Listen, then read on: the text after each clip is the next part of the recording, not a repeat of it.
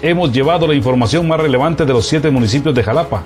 Gracias a su preferencia, seguimos comprometidos con informarles a los T21, los Chapines y el mundo. Somos notijalapa.net. Los daños de este fenómeno natural no afectaron a lo que es el sistema de salud.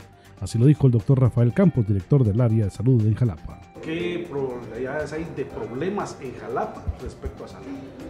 Bueno, recuérdense que la infraestructura nuestra pues se reacondiciona cada determinado tiempo.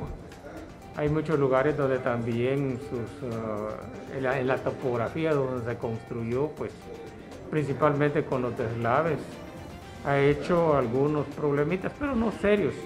Ejemplo, en San Yuyo, una una pared de tierra que en su momento, hace unos 14, 16 años se construyó, pues se, dio a la presión del, agua eh, por estas lluvias y un deslizamiento de tierra.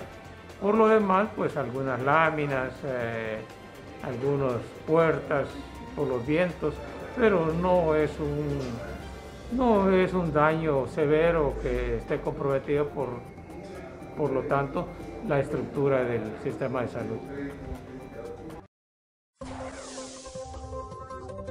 Para los T21, los Chapines y el mundo, notijalapa.net.